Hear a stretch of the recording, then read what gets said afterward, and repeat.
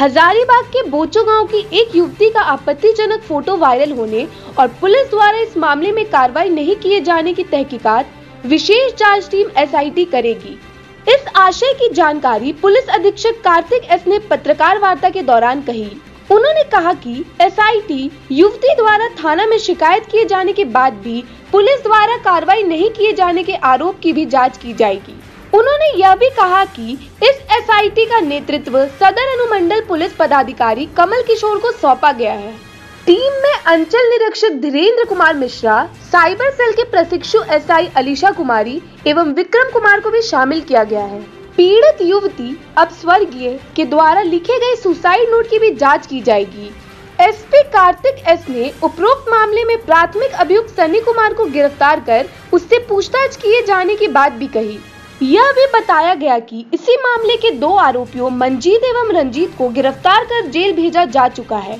ज्ञात हो कि युवती का जीमेल, फेसबुक व इंस्टाग्राम अकाउंट को हैक कर आपत्तिजनक फ़ोटो वायरल किया गया था। इस घटना से क्षुब्ध युवती ने 18 अक्टूबर की रात फांसी लगाकर आत्महत्या कर ली थी। इस घटना से आहत युवती के परिजनों ने लिखित आवेदन देकर मुफस्सिल थाना में प्राथमिकी दर्ज कराया है।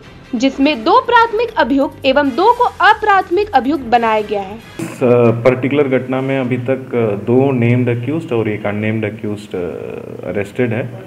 और इस पूरे घटनाक्रम को डिटेल जाँच करने के लिए एक स्पेशल इन्वेस्टिगेशन टीम का गठन हुआ है, जिसमें जिसका नेतृत्व एस डी पी ओ सदर एस डी पी ओ सदर हजारीबाग के माध्यम से किया जाएगा। सवाल उठी उठी थी और उसको भी हम लोग जो है जाँच कर रहे हैं अलग से और जाँच उपरांत उस उन पर भी अगर किसी पर दोषी पाया गया तो उन पर भी एक्शन लिया लाइव झारखंड ब्रेकिंग और एएनबी न्यूज़ के लिए ब्यूरो की रिपोर्ट ये मैं कर लेता हूँ तब तक आप ड्रीम इलेवन पे टीम बना लो Dream 11. Make your team now.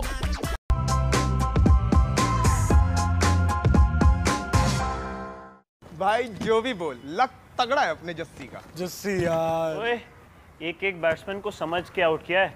ये लक नहीं मेहनत है। देख नाराज़ हो गया जस्सी। फ़ोन में घुस गया अपने। यहाँ भी परफॉर्म कर रहा हूँ म्यूचुअल फंड्स के मैदान में।